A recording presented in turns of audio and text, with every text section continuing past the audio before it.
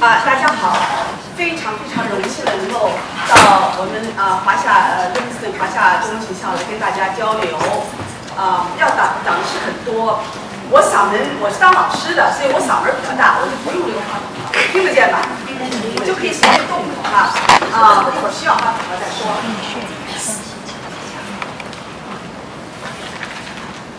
OK，啊，从哪开始呢？我我我跟我们 Livingston 中文学校的这个误解之缘呢，还是要从二零一一年开始。当时呢是华夏整个纽约市的华夏有第一次的呃全体各个学校的教师大会年会，那是第一次的公开两天啊。那么刘一鸣老师呢就把我推荐给当时的组委会，那是第一位校长。结果他就给我打电话邀请我去吃饭，他说主要是讲一下我当时怎么从这个美马里兰美中实验学校的教研室来做这个呃教学工作的，我就去了。那么从那儿从从此以后呢，我就跟 New Jersey 的华夏这个教学系统啊有了很密切的关系了。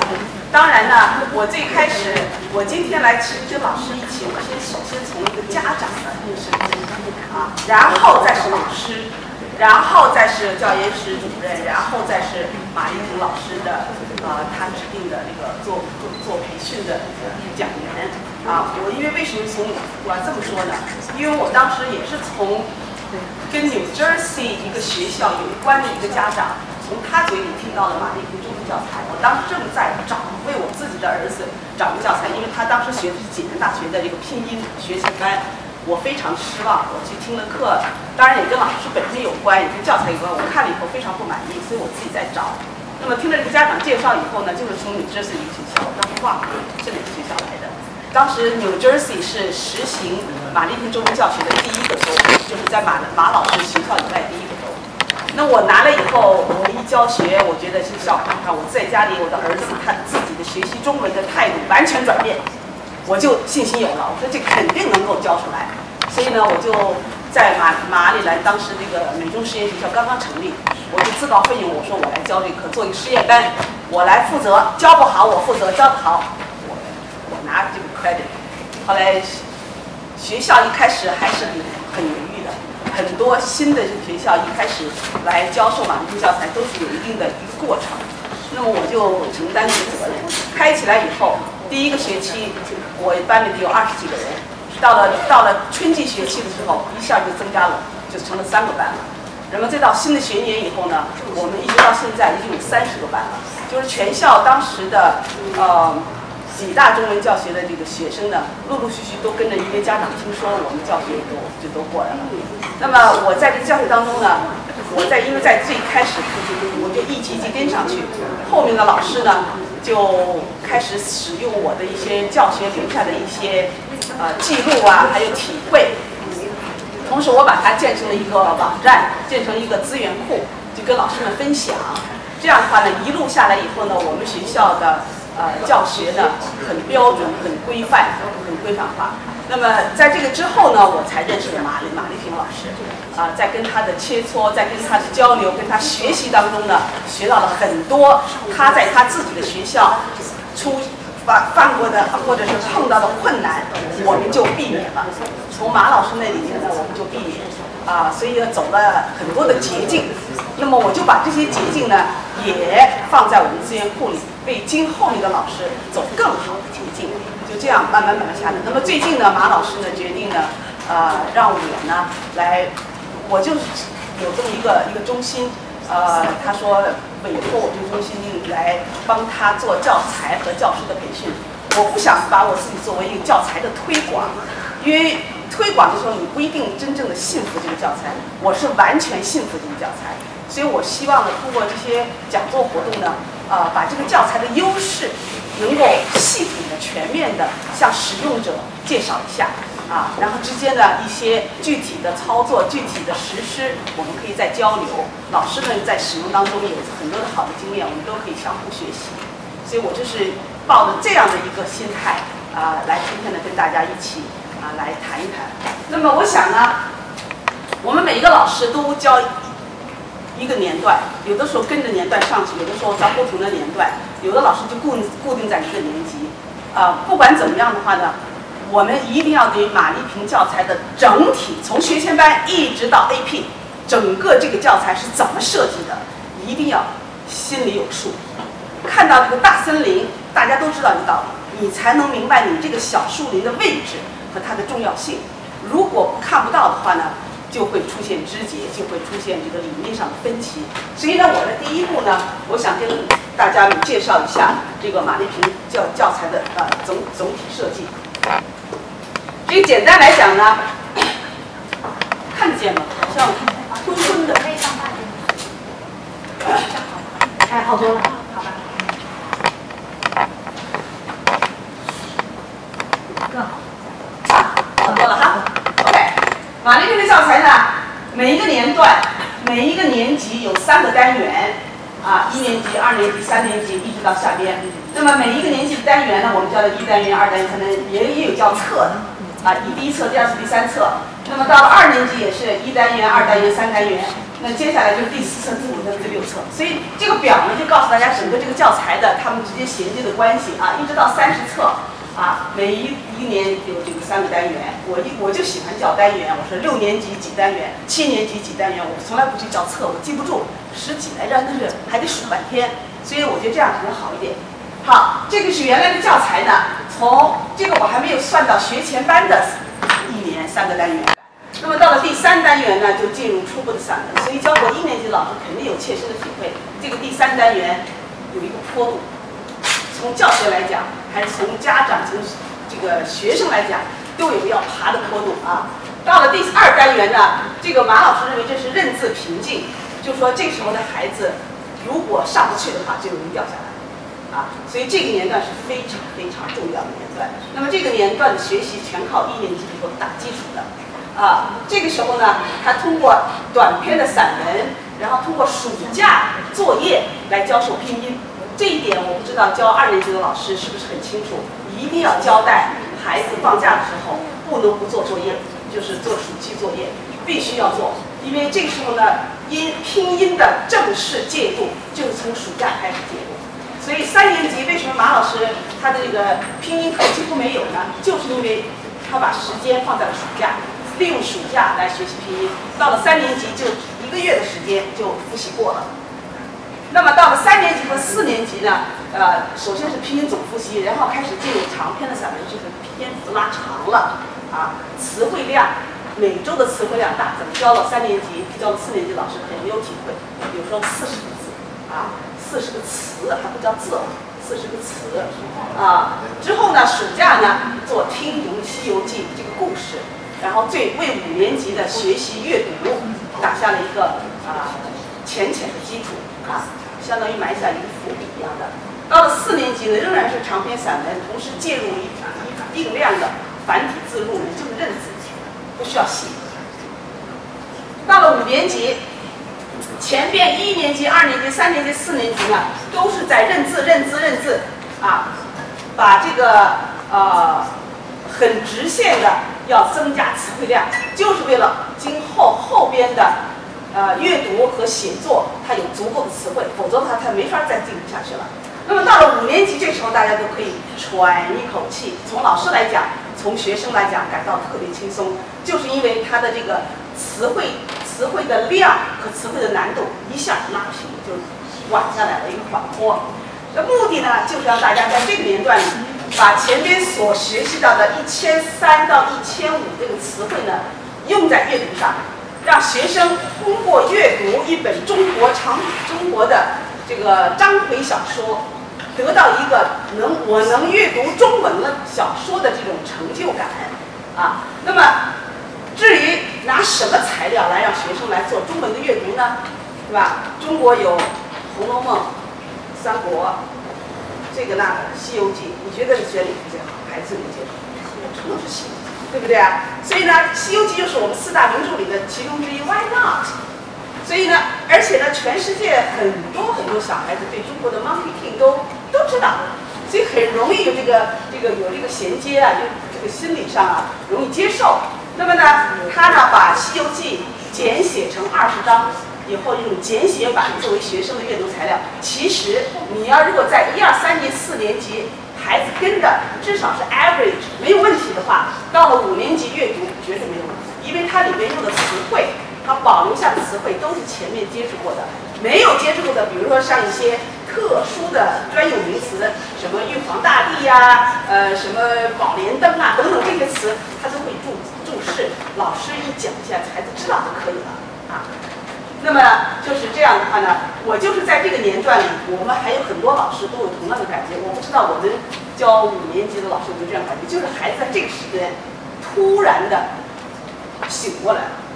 就在这个时间，一大概也可能是因为他这个时候的他年龄成熟一些了，啊，成熟度增高了，也可能是因为中文学习让他感到了一种成就感，也可能是因为这个时候教教学的老师对他影响特别大。总之，好几个因素加在一起的话，这些孩子，我班里头还有别的我的老师的班里头，都突然有好几个学生本来要放弃了，本来不想回来学这个呃这个中文了，一下变成佼佼者。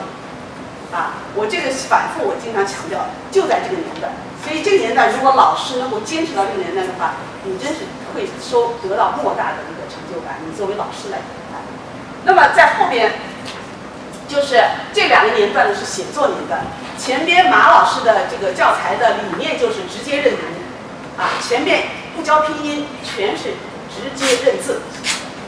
三年级、二年级那一点点拼音学完就过去了，以后的拼音就作为。认字的工具、打字的工具、查字典的工具，绝不能作为阅读课文的这个拐棍儿，那是不行的。那么到了六年级才正式开始啊写作，所以在这个之前，有些老师带着孩子说：“我们作文比赛，赶紧写呀写呀写。”孩子还没学呢，结果是谁写？家长写。那就是很不诚实的啊！所以我在这个这个之前，我从来不让我的学生参加任何社会上的、社区上的这种作文比赛，我觉得没有意义啊。那么呢，到了六年级、七年级，好了就可以了。那么呢，这个是六年级是写作的入门，最基本的。马老师这个呃，然后通过打字提高他们打字能力，通过现代文学的一些非常经典的这个。作文作为他们的范文，怎么样写？呃，中文用中文写的比较好的文章啊。然后呢，英英汉翻译入门。到了七年级呢，又是方法的深入。这两个年段的区别呢，就在于前边第一年的两个单元来学习写作。第一个单元还是阅读跟五年级衔接，然后第二单元和第三年第三单元学写作，主要是要。达到一个让学生能够写通中文，通顺了就行了，不要多漂亮，也不要说拿的就是花哨的词汇，拿的就是成语，不可能的。只要写通了，人家一读能读懂就行了。那么到了七年级呢，那就是处理他的第二个难点，就是写好，提高他的写作能力。啊，这两个年段呢分分开的非常的清晰，通过教材的选材还有教教学手段。那么呢，马老师呢，他在当初编写六年级、七年级的时候，他现在承认呢，当时有点继承了国内语文教学的一些概念和模式，所以呢，当时他的第一批的他的学生呢，就是那些来中从中国到这儿留学呃研究生的孩子，他们那些那个时候家长对孩子抓的比较紧，所以呢，孩子能力挺好的，他编的那个教材非常合适。但是到后来华人越来越多了以后呢，反而这个家长对孩子的中文督促没让没没像那个老老移民的那些啊华人督促的严了，所以呢自己的孩子的基础在就不太好，结果他这个教材呢就有点偏难了啊。那么通过这样的反应呢，他做了修改，这个时候呢就他就加进了大概是在四五年前吧。他就加进了一个我们称作为辅线的教学手段，啊，这个我不知道教过七年级和六年级老师有没有听说过。这什么是辅线呢？他就说，如果凭教材现有的这些内容去教他，包括做作业呀，包括等等不够，那么呢，就是还没有打开学生写作的欲望和他可以能够突飞猛进的这个一个渠道。因此呢，他就借鉴了 AP 考试的。这个写作的方式，AP 考试是中看中的这个这个电脑打字的，所以他就要求学生呢每周把每周要把电脑带到学校去，课堂的前二十分钟做自由写作。他设计了一些图，因为 AP 考试里面就看图写故事，有这个内有这个形式，他就把它设计成他的教学内容。从六年级开始就尝试，啊，那么每周二十分钟，每周二十分钟，到了二十分钟，全体学生要和电脑接着上课堂的课。啊，我呢在了解这个这个辅线以后呢，我就用在我的教学实施当中，效果真是好。一开始学生一开始来的时候，老师我不知道写什么，你给他个题目他不知道写什么，是吧？呃，学中文写作的这个孩子都有，我们家作为家长都有这个体会，孩子很怕写作文，别说平常作文都都觉得是个出头的事，别说中文写作，对吧？那么呢，我们采用这个辅线以后，一个单元下来，八周一个单元下来，孩子们这时候完全克服了写作的恐惧心理。你给他一个题目，就开始打字，想都不想，就是因为我们采用了这个辅线手段的一些具体的教学呢，把孩子们这个思路完全打开，不再怕了，啊，不再怕了。这个这个后后是讲细的，现在没有具体，最后要讲细的。没了，OK。没没。OK OK。你说我讲太细了。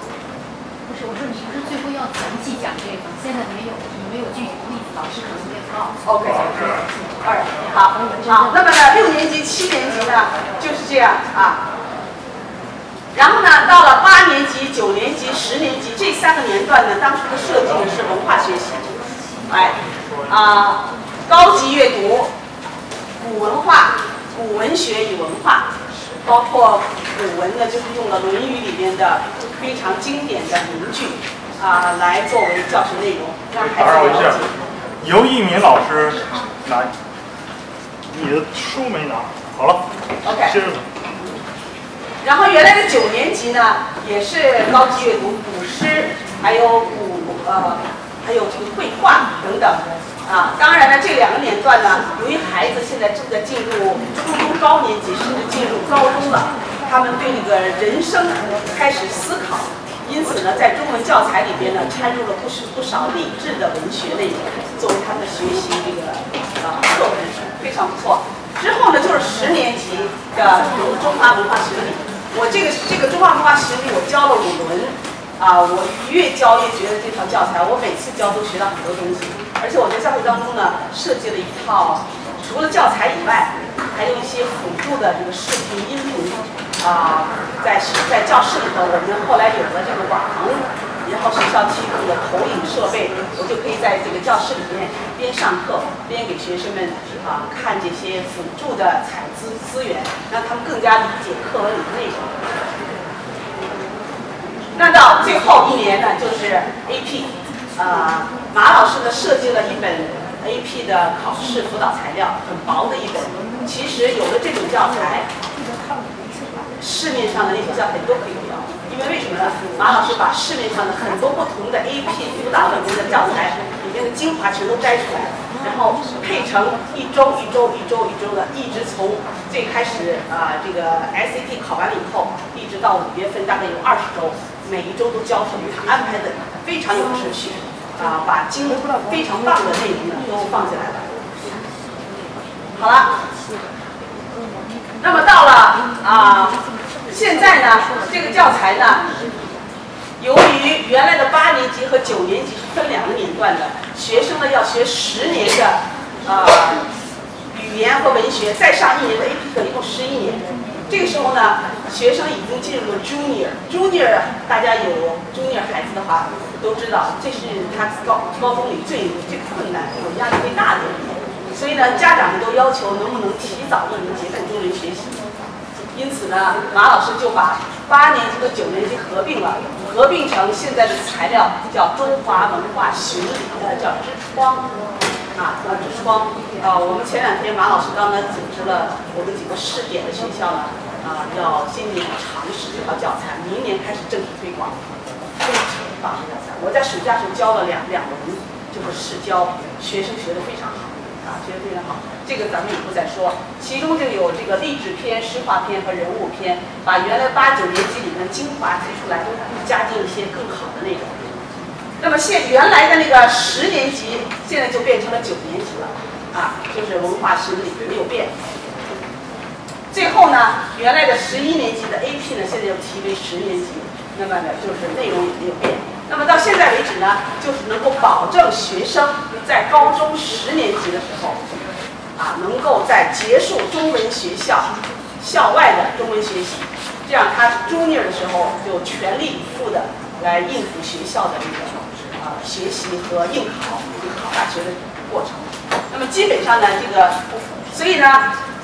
最高到最后，啊，中华文化巡礼和 AP 考试是非常紧密衔接的。为什么呢？因为它这个考试教材里边就不再教授任何常识知识了，就是通过每周的对所有考试题型的操练。比如说我考试会有这个这个这个类型形状呃这个形式，我就就这个形式。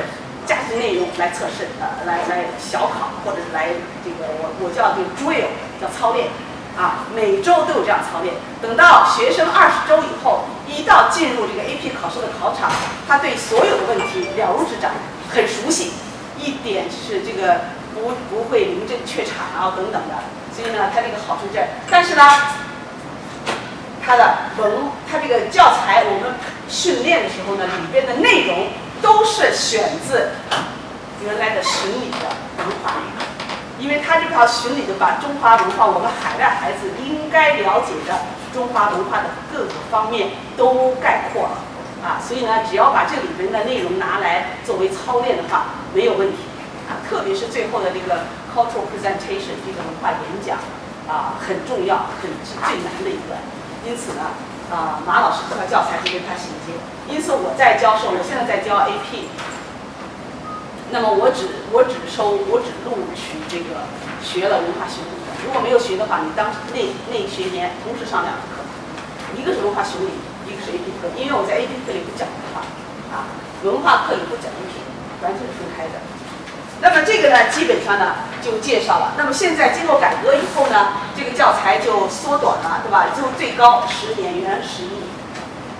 那么这个这个总体的来讲呢，就是整个教材的这个啊啊一个布局。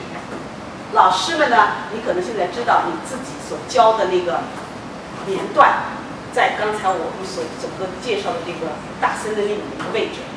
每一个年段的老师的教学都非常非常重要。现在我们看一下这个难度和新词量增长，从一年级到十年级，这个是怎么设计的？最开始这个地方呢是一年级，它的难度，这一年级是不难的，很平。所以呢，这个一年级的，特别是前两个单元，这个是一个 honeymoon 的一个时期，非常舒服当老师。非常有成就感，而且很有乐趣，孩子也非常喜欢。好，一到了第二、第三单元，一年级，你看这个坡开始走起来了，就是我刚才说的，有可能突然老师感到难了，学生也感到难了。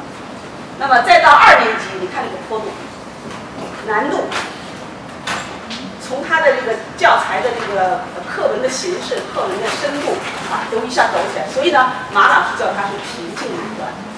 然后到了三四年级，虽然有些缓，但是还是很大的坡度。这一段呢，就是要一下让他累积词汇，所以加大词汇量。到了五年级，为什么我刚才说突然可以休息一下、喘口气了？就是这个，没新词新的难度减小了，因为大家的阅读内容不是很有趣，就降低了它的难度。然后呢，用的里面的词汇呢，都是前面学过的，又降低了它的这个难度。之后呢，到六年级、七年级，它的难度增加，就属于写作本身是一个很大的难度。到了八年级、九年级、十年级，就是原来的设计了文化课啊。那么呢，这几乎很很很平了。学到这儿以后，词汇量就够了，就是一个接触啊，了解中华文化的阶段。下面呢，那就是认字平静，啊，这边呢，这个地方呢是写作文的这一段。啊，这个地方呢是学《西游记》这一段，然后这儿呢是中华文化巡礼啊，中华文化巡礼。那么下面再看的词汇量的增长，看没有？从一年级到四年级直线上升，然后呢，从五年级到十年级缓了很多，新词汇量就比较少了。OK，好，这个是学到四年级毕业的时候呢，应该掌握一千五百到一千五啊。当然，孩子们学一点丢一点，狗熊掰棒子一样，这是这是很正常的啊。能学到一千五，能学到一千二，就是很不错的。有的孩子超前一点，能自己学到一千五。到啊，到了十年级毕业的时候呢，应该学习掌握一千八字，甚至两千都有啊。当然，学的丢的多的孩子，到这能掌握到一千五就已经很了不起了。那整个的这个啊就是这样。下面呢啊，这个教材的总体设计啊，基本上就是这样。那么我现在想加进加进一段的话，就是这个啊，给你看，这个是这个是这个是这个啊。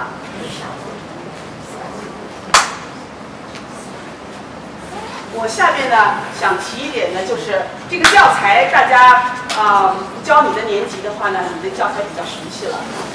还有一个呢，就是很多老师呃经常提出的问题，就是他的这个评估手段啊。这个教材评估手段呢，啊、马老师的设计的很多这个呃考试考试的手段、考试内容或者考试的这个方式，有他自己的理念和设想。今天我们在跟马老师在商量，能不能让马老师呢亲自来给我们大家介绍一下，想通过视频，现在争取跟他联呃联系一下，啊、争取让他能上来，啊、不知道他现在有没有空，行吗？他是说不是说那个你先讲，你讲完了之后，然后他就上，最后，最后那就大概是三点多，OK，大概是三点。大概三点。行，那你跟他沟通。好，马老师的这个考试这个评估手段呢，他自己设计了自己每一个年段、每一个单元都有一套啊、他的设计的题。他的设计的题呢，啊、我是一十年来完全使用马老师的题，一点儿不没有做任何变化。我只是在给学生参与复习的时候呢，我设计了一些复习提纲。因为马老师复习提纲，我觉得有些学生自这个自学能力比较弱的话呢，他可能复习的不好，而且呢给家长增加了很大的压力。所以呢，我就根据马老师的考题的难度，还有课文学习的内容，啊，增加了一些啊复习提纲。那么呢，为什么马老师的这个题大家可能应该都看到了？有的呃老师一般问的问题就是觉得好像太平平淡，或者单调，或者是太简单，或者觉得好像没有没有考出这个学生的水平啊等等。啊、马老师有他自己的呃教学的这个设计考试评估的这个理念，我很非常认同。认同在什么地方呢？就是说我们孩子牺牲一个几乎是一天，你再如果加上平常做的作业，几乎就是一整天的时间来学中文。别的不学中文的孩子参加体育啊、运动啊、travel 啊、旅行啊，都是非常的愉快的过这个儿童的这个童年。我们华人的孩子被我们家长拉到中文学校，已经很辛苦了。我我很这些为这些孩子感到太辛苦了。因此呢，我就认为呢，拿考试去难为他们，这是特别不应该的。啊，因此我在教学当中呢，我主要是让孩子们他能够愿意来学中文，到教室来跟着我一步一步往前走，完成作业。考试是个小事情，考得不好，考了六十分，没关系，照样来上课，考了一百分没关系，挺好，不错，啊，我是通过各种办法，让孩子们感到他跟他自己的昨天比有进步，他就是好孩子，他就是学习。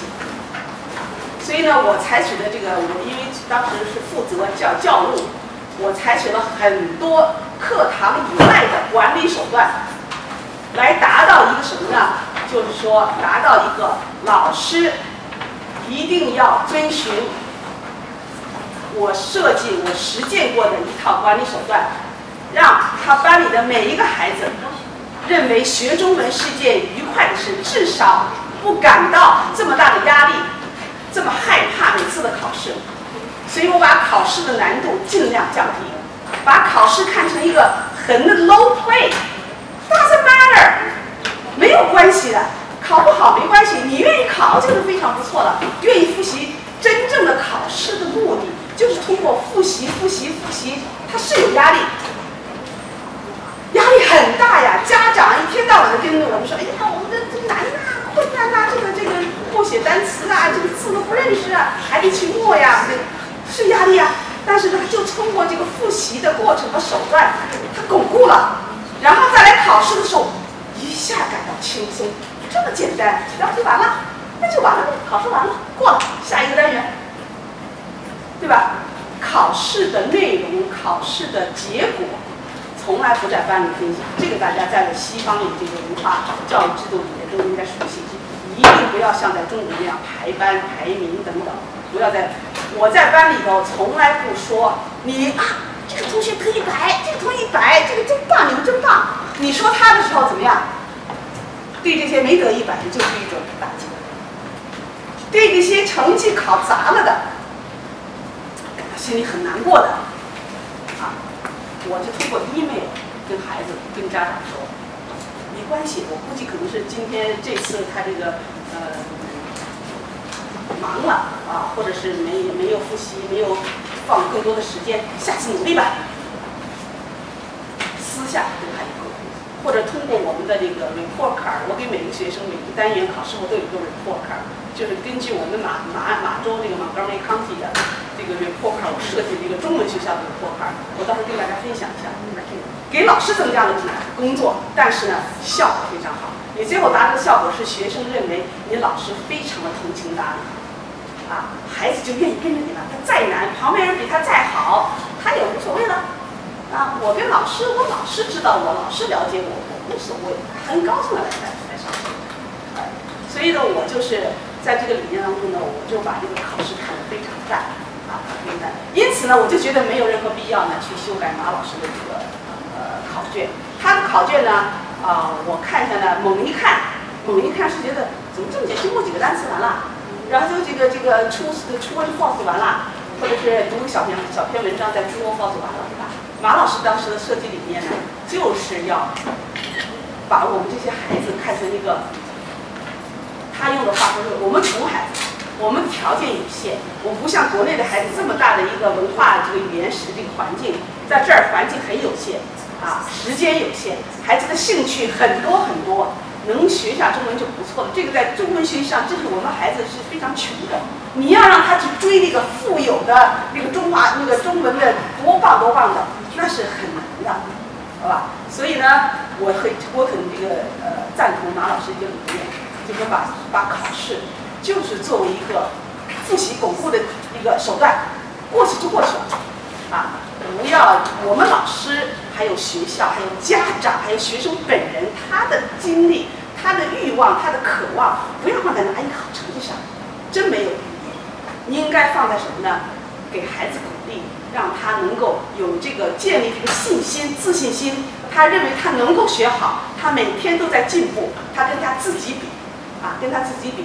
我就跟他说，我在这个我我我所有跟每一个孩子的具体的交代，具体指出他的一些弱点。或者对他的具体的表扬，我都是个别跟孩子之间通过我的 report card 反映给那个学生的啊，所以我的学生呢，从来就没有说是调班的走的，说我说老师让我难堪了，或者是老师这个让我在班里面压力很大了，没有，没有，不管是学得好的，就比较超前的，还有比较吃力的孩子，他都跟着我走。最后到了高年级，这个 AP 学到 AP 的考试的时候，居然得五分。我有好几个这样的孩子，当初就是上来的时候，恨不得就就为了拉他拽他走啊。这是我的非常切身的这些体会呢，就是说我们这个呃考试呢，啊、要是作为一个鼓励，作为一个巩固复习学习学习的内容，不要把这个精力放在这上。精力呢，应该放在什么上面呢？放在啊、怎么样组织你的教学，让你的课堂教学生动活泼啊，让学生喜欢跟着你走。我对我所有的三十多位老师的要求就是说，只要你的孩子，你班里的孩子愿意跟着你继续升上去，你这个老师就是好老师，这是我唯一的标准。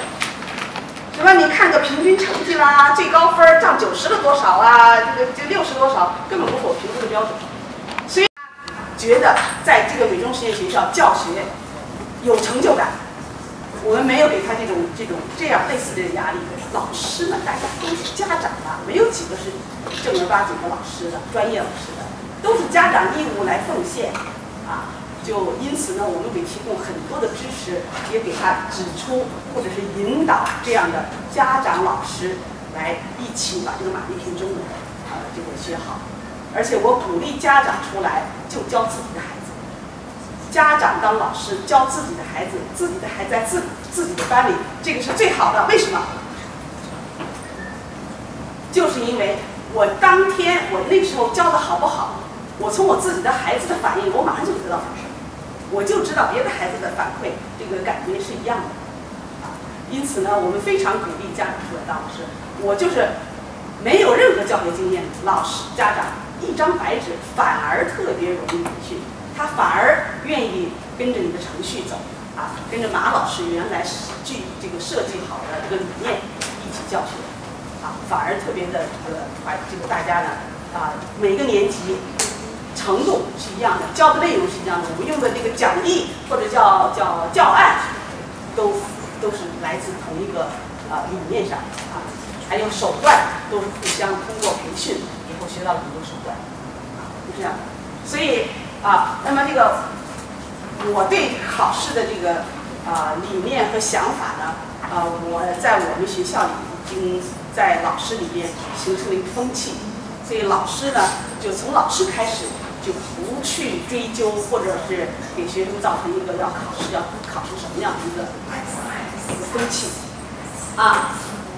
那么呢，整个的教材的设计里边就是这么多。当然有可有可能老师对某一个年段的考试，呃，不是考试，就是教学和教材设计可能有不同的想法或者有疑问。咱们可以啊、呃，在适当的时候能够提出来，你你当初提醒同桌老师可以，好吧？现在呢，我想呢，老师可能对一些教学的手段感兴趣。那个呃，游牧老师呢，还有其他的老师要我说能不能做点那个教学示范啊、怎么样？我都我都可以。那在这个之前，要不要给老师提？还是这样？现在老师有没有？关于教材的设计理念，关于呃评估手段有没有什么问题？我再往再往下面走。机会难得，我这六年级这个第一个第一单元，它实际上前面是一段相声，四四个相声，四个相声，对，然后还有繁体字。他在马老师的这个理念到底是为什么要引用相声？这个对相声小孩首先一点。他对相声这种曲艺节目根本就不理解，很多家长就问你为什么叫相声？相声在这里根本就没听说过，而且里面的笑话他们也不好笑，原因是因为没有这个文化背景。对，他他他主要是没有达到一个水平。对，相声必须得达到水平才能笑，不达到水平你根本就不理解怎么笑。对，然后还有是就是他就把繁体字引进来，然后加上就是。繁体干嘛繁体字发这个？不改。这个我可以根据我的呃对马老师的这个理念的理解啊。第一点啊，第一点呃，第一单元的它还是作为阅读跟五年级进行衔接，这一点没有问题，对吧？它不是马上一开学他就开始写作，它马上让学生有一个亲切感，有一个衔接，这是第一点。第二点呢，因为相声本身是一个中国文化的艺术，你在什么地方教，不知道，反正得有地方得教他，或者给学生介绍出来，学生懂不懂？马老师的教材从一年级一上边毛下边毛开始，每一篇每一章都是含有很重的中华文化的含这含金量。那么相声本身是一种文中华文化的一种表演形式、表演艺术。我我认为吧，马老师就把相声放在这个地方，既作为阅读，又作为给大家介绍中国的这么一个艺术一个表现形式。啊，以后你听到了，他就不会说啊什么叫 cross talk，alright。然后呢，我在介绍的时候呢，我就会说，他跟美国可能也有这样，但是美国人都是一个人，叫叫那叫什么呀？stand up comedy 或者是 comedy，对吧？我就做这种比较。我说中国的呢是两个人一起，啊，这时候还有什么搏斗，我的这些东西你要讲没完嘛？没完了，我一般不太讲。我就说一个人是主要的，另外一个呢就是提供一些素材，让大家可以发笑。我说我们孩子也说，What's funny？Yeah, 觉得不 funny 啊？Because they are stupid. 没关系，没关系。学生经常会说，你在读那个《西游记》的时候，有些东西他们也觉得不理解啊，为什么这个让他觉得 stupid？他也经常会说，不是啊，那也是，确实有点。我说你们在西方长大的，虽然你的爸爸妈妈是呃华人，但是呢，因为你们接触的西方的文化啊，所以你对美国的一些表演形式、表现方法很熟悉。这是中国，你去听一段相声，大家笑的这个前仰后合的，过去就过去了。至于他真懂了没有，他听说过，至少他可以在多少年以后，他回忆起说我在我在中文学习六年级的时候说过这么一个 cross talk。他没准什么时候到中国去的时候，别人被请他，他是个 CEO 过去的啊，人家请他去看一个节目，其中有一个 cross talk，他那时候就他就不会表现说什么呀，他那时候就会说，我我听说过，学过学过学过啊，至少就不会讲，那时候比那个时候他就不会感到像现在对不对？对不对？他就好像有点是一个文化人了，接触过美国来的，我也听说过，就给他这么点自信感。至于说你能够把相声教到什么程度，我还真不知道，真不知道。所以呢，这个问题呢，孩子都有反应，我的孩子学生全都有这样的反应，没关系，就过去了。啊，就是把这个文化艺术啊，这个表现形式教给他。别的老师有什么想法，教这个相声的时候。其实我标准中文也有，标准中文八年级就有一篇就是相声，他当时相声是把学量词结合在一块儿，所以我当时课堂我是两个学生，三四个学生两组，我是表演相声的。也就是说，我的课堂都是要求他们预习的，他们上上来直接就表演了，然后就互相 evaluate。就是可能小孩儿，就拿我自己小孩来说，他们不知道相声，但是我当时在一块儿里给他们看，给他们看马三立那个逗你弯儿，你们还记得那个经典相声吗？马三立那个。他们一看就哑，有的时候 visualize，他们一看就根本不用说了，他们就知道这种是我我们我说的时候，我叫 stand up comedy，就像美国人的说法，但实际上是一个，我们这是俩，所以我用他们成 partner，他们一个让你笑，一个让你闷，就是这样的，就给他们简化，把复杂的问题简单化，他们也挺。最后这篇文章是我们效果还挺好的。原因是这个笑点，他根本笑不出来。对，笑点笑不出来，没办法，这个没办法，因为他们听西方人的，我们我们也笑不了。是的，因为因为这个他们里其实是最难的最难的一个文化水平程度，一定要到一定的水平才可以没错笑。没错。但是我的理解哈，我觉得马老师可能这么想，我们在学习的中初中级阶段，我们是要答射击，我们什么都要知道一点。可能马可能 AP 考的他就考这个，他前两年考的是电影，可能今年他就考中国的这个传统曲艺，这个你也说不准，可能就是要求看相声。但是你的如果你的学生咱们把这张跳过了没交，他可能他当时 AP 的五分他就拿不到，他说不出来啊，是真的说不出来。我我我的经验呢是，我觉得马老师那个相声不光是战友相声，其他前面也有过，像什么量词他也讲过相声。那学生的程度有不一样，有的学生呢，有不少学生也是可以那个体会到其中的笑话，特别是量词那那个那个我的学生就上台去表演的，中国那个新年的时候去表演的，大家去笑。对，那那个船变成一块儿一块儿的走了。我们到了八年级的时候，有一个全身是成语的项目，就是学，就是从头到脚的成语，啊，成语呢，在 AP 里也有，也。也也会考，就是可以。没关系，其实就把它照顾成一个阅读，就是阅读就行了，笑起来没关系，那没办法。还有这个考试形式，我看这个六年级考试就是默写生字就完了，对，还有一篇作文，作文这考试是形式等马老师对讲以后你再再细讲，现在要不这样是吧？可以可以。一会儿马老师会连线上来。但但是现在我们学校里就要求你不能默写生字，默写生词给大。为什么？为什么？所以你现在就是要重新设计。其实其实有时候我我是这样的，我当时学生我要这个默写，啊，但是有的孩子呢能力确实低，他默写他背的他背了这个两个星期他都记不住，他就是这样记不住。那我就说没关系，我就允许你听写，我就把这个孩子分成两半，能默写的有 special credit，啊，默写不下来的，我就为了让他考好嘛，我就给他个鼓励嘛，分数都是无所谓的，你就听写，我念给你听也行。但是呢，对于自己默了的、听了的，他在复习当中，对于他的语感培养非常好。背下来的东西、唱出来的东西，外语唱出来、背下来，他才能记得住，才能提高语感。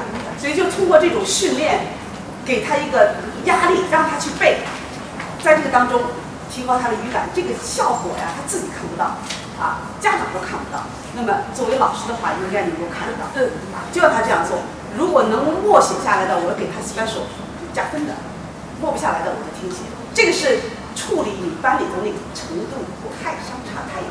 但是呢，我又不愿意让这些小尾巴的孩子呢感到自卑，我就给他减轻一下他考试的难度，给他这么一个形式，啊，没有问题。写作文，你们是手写吗？嗯，电脑按电脑打字就行，不要手写，太难。啊，我就是学生带电脑来的，因为我们上六年级、七年级课每周带电脑，所以每天都是带带电脑的。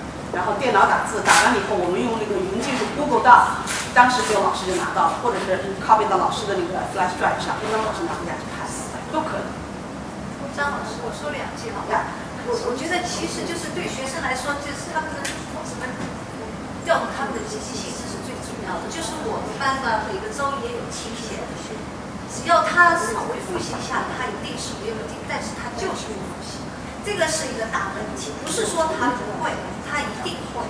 那后来呢，我就我这个方法一照，我就写了 email 家长说，前面这几个星期，这几个孩子都是考满分的。有的家长就去触动一下，但是他就是到了后边呢，学生年纪大了，家长也没有很多的作用，他推不动了，所以这是一个问题，倒不是他们没有这个能力。我也我也我也赞同，我碰到这样就关于这个听写默写的事情。其实就像我们长大的时候，每个班里，就我们上中学的时候，班里，啊，我的声音低哈，班里就是我我就回想到我们那个成长在上中学、上大学的时候，特别是上中学的时候，你一个班里二十多个学生、三十多个学生，绝对有不同的层次。那我们在这儿学中文的那些学生也是有不同的层次。那就像张老师说的，有些学生实际上他是可以默写的，如果老师，但是老师要给他有这个要求。嗯，呃，我的班上七年级那时候哈、就是有有那么可能三四个学生都是可以默写的。所谓默写，就是说他把那段话都背下来，自己就可以写，不用我来念。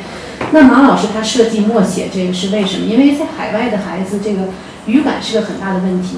就像我们那时候学英文的时候，每天早上不是都是跟着广播喇叭去，先是鹦鹉学舌的跟着念广播喇叭怎么念，我们就怎么念，然后自己背下来。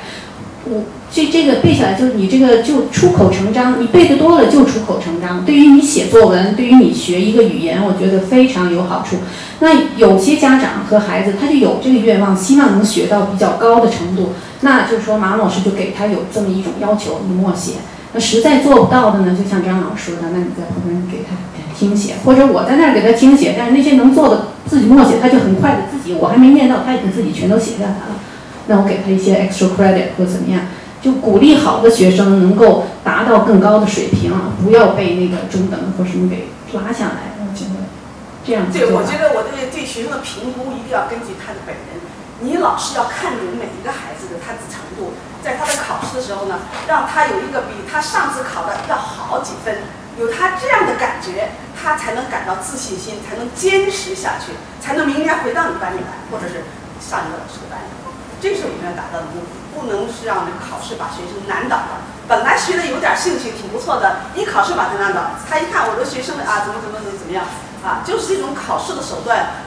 在正规学校里面，我们中学校我们没有那种 credit，我们并不是一个拿 credit 的学校，啊，不要搞把学生搞得这么累这么难，让学生感觉到愿意回来继续学习。等到他再长大一点，他成熟了，像在我现在的一些高中的孩子，停学停了好几年，回来上我的暑期课，一下子开始在家里讲中文了，父母都都吃惊了。他这时候成熟了，你稍微给他一点触动，他一下就就就反应过来，明白了。我是我现在特别有成就感，就是这段孩子，我最愿意教高年级的孩子，因为他正成熟的时候特别容易教。谢谢那边那个陈老师，我们就是我现在教一年级教了两年哈，但是就是有一个问题，我们现在一年级因为没有那个没有那个五岁班嘛，现在就是我们一年级有很多五岁的孩子，所以现在这个水平就参 参差不齐。那我就想问一下，那如何在没有五岁班的这个情况之下，上了一年级的，而且很多人，那个我们校长应该知道，呃，有一一半儿差不多哈是五岁的孩子，所以呢，去去年我们这个就我就觉得自己觉得就比较难教。那么怎么样能够在一年级的时候既有五岁的孩子，也能够让他对这个培平能够学下来？有没有什么更好的方法和经验？有。给你介绍一下。那个，我刚才前面其实带了一句，就是因为过去马老师他自己的学校，这个湾区周围的家长，那中文家中国家长 push push 的厉害，让他们五岁的、四岁的孩子就进一年级。对，他当时没有教材来来 accommodate 等来来，结果他写了一个编写了一个五年级的，就是五岁的学前班。所以我建议呢，我们学校可以把那个学前班教材引进来。就是跟他是一个系列，只不过他从五五岁开始。我的学校怎么做的？我们的学校呢，是我设计了。我在每一个学生进入我们每一个班，他注册的时候，我不能家长说上几年级上几年级，我都要测试的。进入一年级的孩子，我的原绝对的要求是满六岁。第二，家庭里头他在家里听说中文，读写无所谓，不要求，因为他进来就是一个白纸，啊，他能听懂就行了，我就可以教课了。这是我的要求。二年级进来的时候，所有二年级不，你升上来，原来那个班从一年级升上来没问题，继续上。从别的学校转来，别的教材转来进二年级，我都一个一个我亲自要面试。家长把孩子带到我这儿来，找这个下课以后，你第一天先去旁听，旁听下课到我规定的教室来，我一个一个面试，都是我亲自面试的。那时候，就是我要问问这个孩子，我首先要看这个孩子他学习的动力，他说话听懂的能力。我再问问他已经在家里认识了多少字了，等等等等等等，然后我跟家长商量，他可以上二年级，可是我觉得他不够，词汇量不够，你能不能在暑假期间给他买一套教材，自己把这个教材补上？家长答应了，好，你明年上二年级。学前班，我们的条件，我们在明文规定上，网站上规定的必须五岁，九月一号以前五岁，在家里听说中文。这个教材就是给继承语学的，你所以在家里讲广东话的或者根本不讲中文的这样的孩子，我们让他到别的班去，不能上这种，否则的话你根本教不出来的。那目前是像这样的情况，我们已经有很多五岁的孩子进入一年级的，那怎么弄？这个由学校来决定。我认为，我建议呢，应该成立一个五岁学前班啊，来哪怕如果来不及订教材的话呢，五年级五岁的这个。学前班的教材就是韵语、学诗歌，啊，五岁真不能上一年级，为什么呢？我给你讲一个道理。他有的家长说，我都认识了好这个一百个字了，没有问题，都这么说。可是这个孩子五岁的智力不到啊，他的 EQ 不到。那么呢，等到我在前面讲了，一年级的一单元、二单元是一个容易的事儿，学韵语他孩子都会了，都不用不用认字，他自己都背回来了。所以呢，那时候有点虚假，到底是真认还是背出来的？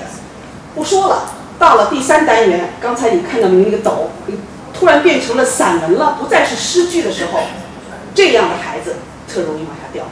他应付不了，他的 EQ 没到那，他太小了。所以这样的孩子呢，你如果让他继续上一年级的话，对他的自信心。自尊心是个非常大的打击，还不如我就跟家长说，你还不如降一年级，让孩子在班里是个佼佼者，这一路上来他都是佼佼者，多好。我们去年就出现过这样的问题，我跟好几个家长也讲过。我们去年就是进入我班里的有些孩子一进来还不到五岁，所以等到毕业的时候才刚过五岁生日。所以到了就是您说的第三单元的时候，就那些其实在第一单元、第二单元都能背下来了。对，因为我是要求他们上课的时候就把那一段都给我背下来，因为只有四句话嘛，很简单，全都能背下来。可是到了第三单元，的确是这些五岁的孩子啊，马上就立刻就觉得跟不上。就是您说的，他不是说能力的问题，是他根本不理解。他可能会在家里学得很好，但是他不理解，所以他的情感智商还没有到，不能克服困难，就就没办法。所以现在就是鉴于这种情况，我们学校也有个特殊的情况，就是现在还没有那个五岁班。但是这些家长，您知道中国家长都特别护视孩子，那有没有什么特殊的方法，让我们今年先能够过这么一年？因为我去年用了很多种办法，我都没有办法把这五岁的孩子教到以前的那种状态。现在的家长真的是越来越不服。你要放在一个教室里，你没有办法，是很难。你要分开两个教室。更好的办法。你有多少孩子？我上一次是最少十八个一个班。一个班里有十八个五岁的孩子。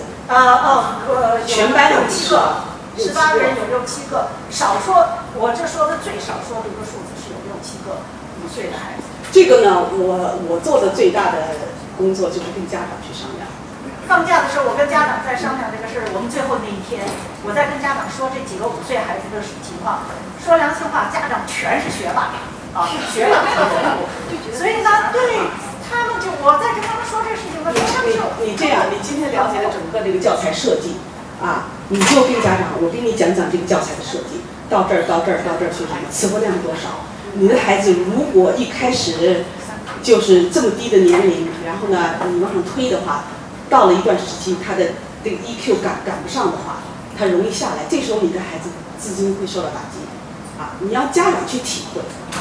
这在美国这个地方，你这个一定要让孩子有自尊心、有自信心，否则的话。以前是从来没跟家长说过这样的话。要要说。去年一定要说。去年的时候，的确我碰到了班里面这么多的情况，我是第一次跟在班里面开那个最后一天的家长会的时候，我在跟有些家长在提出这个问题。你不要怕，觉得你的啊孩子留了一级啊，而觉得好像怎么我孩子不如别人。的确，你们的孩子都很聪明哈，都这个妈妈爸爸都是学霸级人物。我说你们不要有这个担心。如果你担心，因为我也知道马丽萍教材，我我也看过从一年级到四年级、五年级的我都看过。虽然我教一年级，但是我也跟他讲，你到了三年级，你一定跟不上。如果这样的话，你还不如一年级多上一年。打一年的基础，多打一年基础，你就是您刚才说的，可能这样的你永远在班里是个佼佼者。所以呃，你就跟家长呢，就是非常推心置腹的要说，你说我们的孩子很苦了，来一天学中文，你让他轻松的愉快一点，而且在班里是个佼佼者，你说你作为家长的，不是反而会感到更自豪，更轻松一些吗？一定要这样讲，否则你家长也累死了，推呀推呀。你就这样讲，我这我跟我所有的家长都这么讲。你只要他看你老师确实关心这个孩子，很真心，他真听你的。我还没碰到过不听，我一定要往推的。哎，对，我今天就真是前几天我接到一个家长的那个电话，还不是微信，还不是也不是 email，打电话给我，说呃那个其实这个孩子我当时也要求他的妈妈让他再上一年，可是前几天给我打电话要报马丽萍三年级。所以我们家里有爷爷奶奶教，是不是这个意思？他的爷爷前几天刚来的，呃，就是前一段时间刚来的。我我也借这个机会回答一下大家的疑问哈。其实这个问题不光是马丽萍，呃，标准中文，呃，CSL 都有。然后呢，就是说叫什么？我就举一个例子哈。你们可可能没有注意到这个网站上信息。我们在报名的时候说的非常清楚，我们的学前小班是五十五岁以上，我们的一年级是六岁以上，我们说的都非常非常清楚。可是我们这些退爸退妈们哈，他们是置若罔闻，是不是？继续报名。对。我再说一个我自己班的例子，因为我在教那个 CSL 零，就是我们的 Kindergarten，因为我们的 CSL 是有零的。我跟你们说，我最小的孩子是四岁多三个月。我最大的孩子十二岁，同时在一个班，我教了我教了三年，我过来了，而且我告诉你们，有好班上每年都有三个或者四个小孩儿，他是 repeat，是因为我跟他们爸爸妈妈最后不是最后两天啊，我是整个下半学期基本上在跟他们做工作。我说你这小朋友四岁半的小朋友，他到了毕业的时候也就是五岁还不到，将将到那个那个阶段。我说你可以让他上去，但是呢，他可能会以后再也不学中文了。我还有一个建议给你们，要不要听？我说你再跟我重复一年，如果你喜欢尤老师的话，他说我小孩很喜欢你，再做一年，他们好开心啊。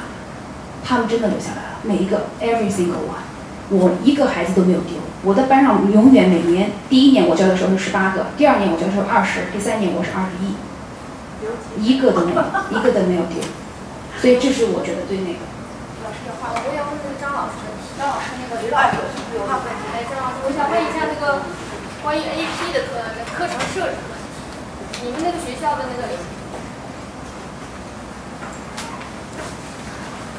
我想问一下那个你们学校的这个 AP 课程的设置问题，您刚才说的是你们也是 AP 课是二十周是吧？AP 课从那个 ICT 考完以后，不就进入转入 AP 复习吗？嗯。呃，二十到二十二周，看你们学校是不是有下学日啊、关啊等等。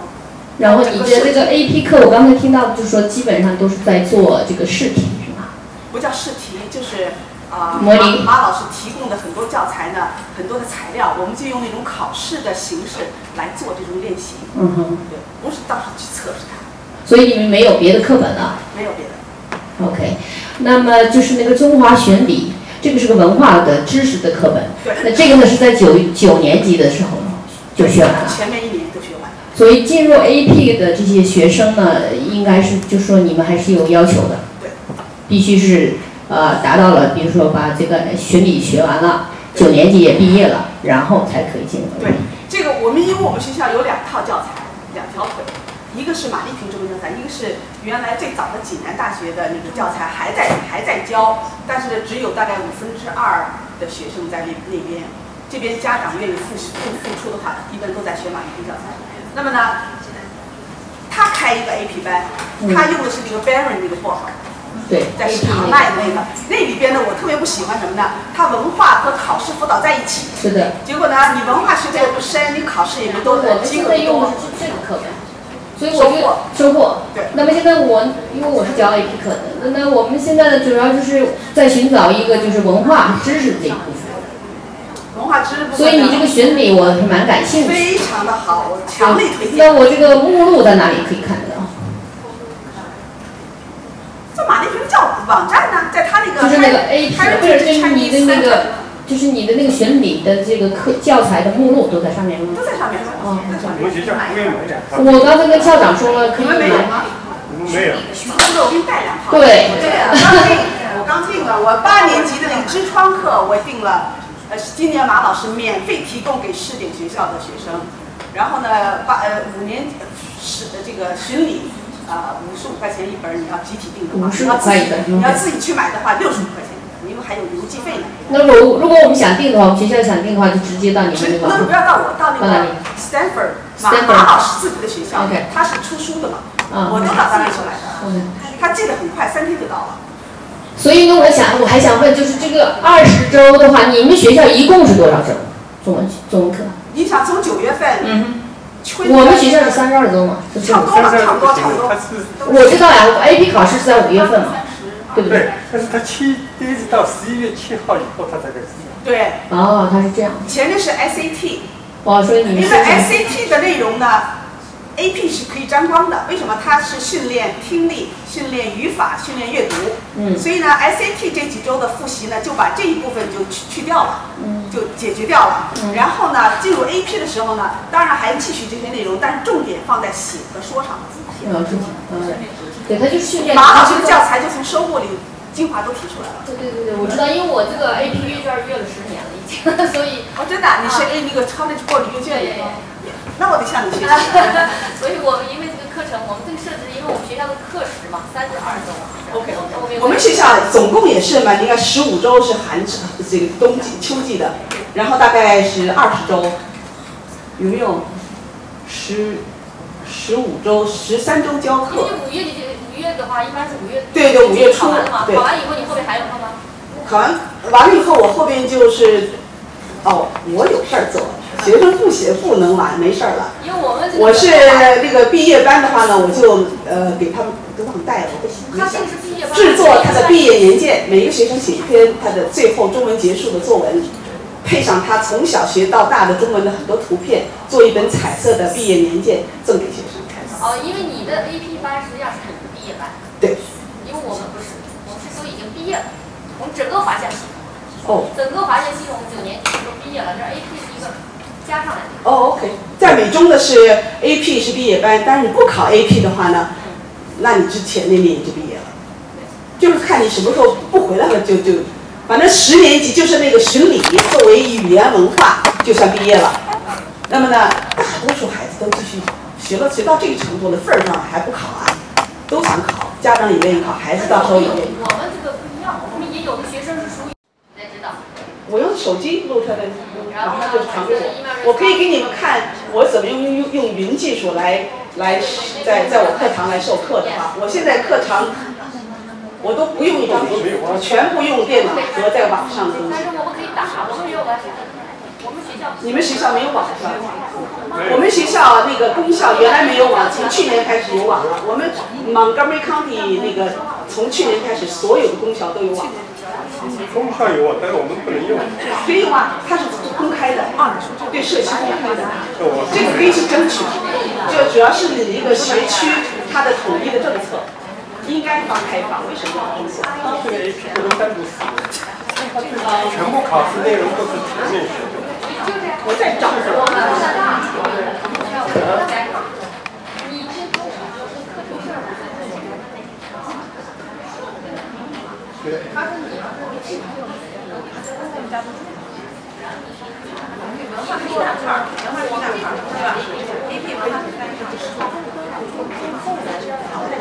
好了，